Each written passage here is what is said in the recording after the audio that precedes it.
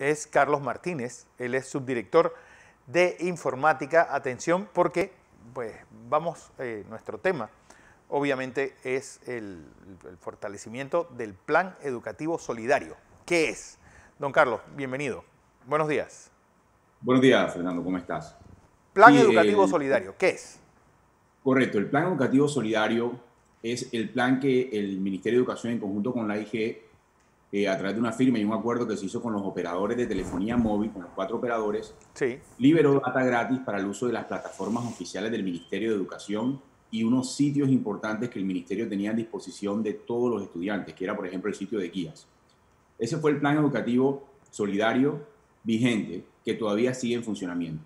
El anuncio que hicimos hace dos días fue la liberación del fortalecimiento del plan educativo solidario con la inclusión de nuevos beneficios uno de ellos es un paquete de datos adicional que le va a permitir a los estudiantes y a los docentes poder también tener data para desarrollar las clases que los docentes colocan y para algunos centros educativos que estaban utilizando plataformas diferentes, también van a poder utilizar esas plataformas con este nuevo plan educativo.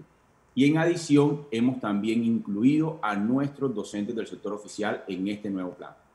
Ok, todos ellos van a tener, el, ¿qué, plataforma? Van a tener data ilimitada para WhatsApp y para, eh, para data. ¿Qué, incluye esto? Eh, ok, ellos van a tener eh, data ilimitada y gratis para las plataformas oficiales del Ministerio de Educación. ¿Cuáles son? Es la plataforma Esther okay. y la plataforma de Microsoft 365. Para estas dos plataformas es completamente gratis. En adición, van a poder utilizar el WhatsApp y van a tener un paquete de datos adicional que les va a permitir entonces que puedan eh, utilizar otras plataformas o utilizar otros recursos eh, didácticos, otros recursos eh, académicos para poder entonces reforzar el proceso de enseñanza a los estudiantes. Ok, esto es importante. ¿Es automático? ¿Hay que inscribirse en alguna plataforma para, para poder acceder a esto? Muy buena la pregunta. Sí, a partir del 10 de marzo eh, los docentes van a poder solicitar el plan educativo solidario a través de la página de Panamá Digital. Eh, a través de este sitio el docente va a ingresar, va a llenar la información, va a inscribirse y va a poder entonces tomar la opción de plan educativo solidario y a partir del momento de la solicitud, 48 horas después, el operador, porque son los cuatro operadores, va a notificarle que el plan ya está o ya lo puede empezar a utilizar. Eh, la inscripción empieza el día 10, no tiene fecha de vencimiento. Durante el periodo de tres meses van a poder escribirse docentes y estudiantes y la activación sí va a arrancar a partir del 15 de marzo. Y en esta primera eh, instancia, el plan va a cubrir lo que es el primer periodo a distancia en la modalidad virtual, que es el periodo que se extiende hasta el mes de, de junio. Junio 15 va a llegar este nuevo plan. Junio 15. Otra cosa importante, muchos no están eh, obviamente no utilizan el, celular sino una laptop o una computadora.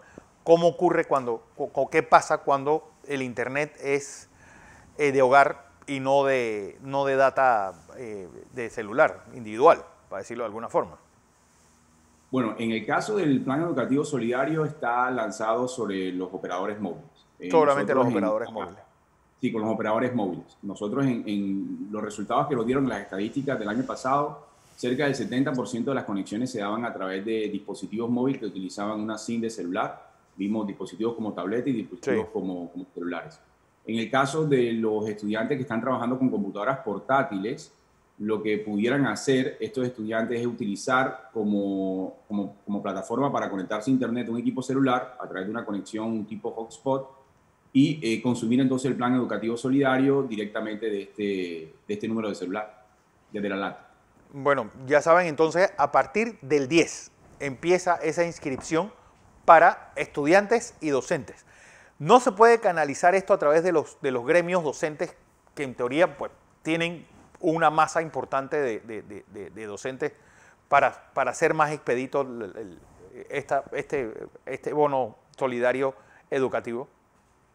Sí, correcto. Nos encontramos en el proceso de hacer los anuncios. Algo muy interesante que ya podemos hacer es que nosotros tenemos a todos los docentes dentro de la plataforma de Office 365, por lo cual estamos utilizando notificaciones directamente a sus correos electrónicos. Eh, estamos haciendo también algunas sesiones con directores de centros educativos por región educativa de manera que ellos puedan estar en conocimiento y ya estén preparados para que a partir del 10 de marzo puedan solicitar este beneficio. Bueno, ya saben, docentes y estudiantes. Este beneficio es solamente para colegios, para docentes y, estudiantes de colegios públicos o también los de colegios particulares pueden acceder a él.